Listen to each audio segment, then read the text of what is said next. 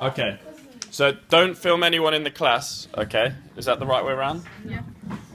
Alright, so let's have a countdown. Let's go from this way up and down. Okay, ready? So count me in. Five, four, You gave me about five seconds, and that's not long to wait. So you are putting my brain under some proper strain. I'm under a lot of strain because I have to disperse words into the atmosphere as if they can fly like pollen grains. And I know that I get under your skin like it's your biology. You can study my brain, that's my neurology. You can study my heart, that's cardiology. And I am a slow flow lyricist.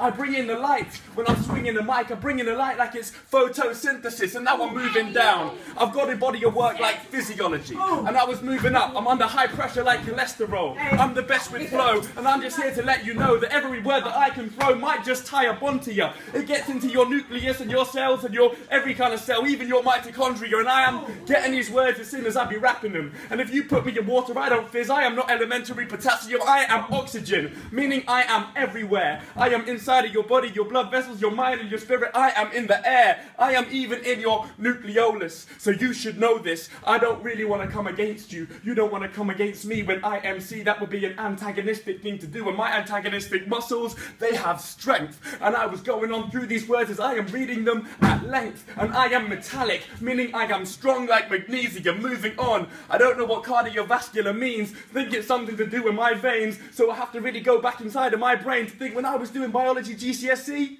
Now it still beats me. I'm moving on, and I can divide this class in half like multiple personalities with schizophrenia. I am blitzing through these words as quickly reading them, and I know that these words they are flowering, they are blooming like geraniums. Rearrange the words slightly, we get a new element, germanium. So let's have a look all again, and I think that I've done what I never dreamed of done. One, two, three, four, five, six, up, or seventeen.